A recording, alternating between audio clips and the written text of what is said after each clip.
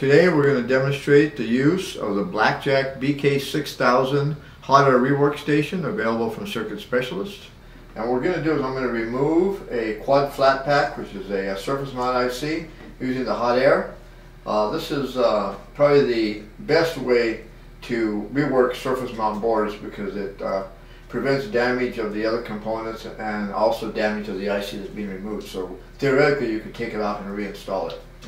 Um, first thing I do obviously is make sure I'm grounded, uh, make sure that our machine is uh, set up, ready to go. So I've got the correct nozzle installed on it. And the nozzle is, uh, what I'm using the nozzle now is one that's made for a quad flat pack. What it will do is it will only apply heat around the lead to the part so it doesn't heat up the plastic on the part unnecessarily. I'm going to go ahead and turn the unit on. Uh, I've got several buttons that I can use to set this machine. I'm going to use the hot air gun, so I push that button. And what I do next is set the temperature and the air pressure. Now these settings are pretty much trial and error. Um, and just from experience, I know that I need somewhere around 300 degrees for the hot air temperature. And I usually like to use at least 75-80% of the airflow. Uh, the more airflow, the better. That means it's going to operate quicker Problem is, the higher the airflow, you uh, are in danger of moving uh, some of the other components that you may not want to remove. So there's kind of a, a fine line there between what's best and, and what uh, won't um, unnecessarily affect the other components on the board. So I'm going to go ahead and set this now to 300. In fact, I'm going to go ahead and go to 320, a little bit more millihertz. Uh, I'm going to set the airflow to probably 80% because on this particular board I don't have any other surface mount components that are very real close to the part.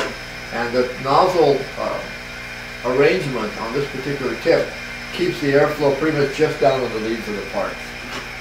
So I'm going to go ahead and get all this uh, air is warming up. First thing I have to do is apply flux, and I like to use the paste flux. I'll apply just a very narrow bead all around the part, the leads on the part I'm removing.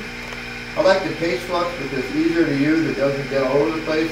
You can use uh, liquid flux though if you prefer. So go ahead and put a bead of flux all around. I'll go ahead and get my tool that's now warmed up. As you can see, uh, up to the temperature we wanted. And go ahead and hold it as close as I can to the part until the solder melts. Now this could take anywhere from 10 seconds to 30 seconds, uh, sometimes a minute, depending on what kind of solder is used, how big the part is, uh, how big the board is. Okay, it's melted now, so now I can go ahead and take it off. I use my vacuum pickup tool to remove it. Uh, the next thing I might want to do is go ahead and try to reflow any leftover solder on the board, and I may want to clean it up afterwards with some solder. But it's really that easy to remove a surface mount part.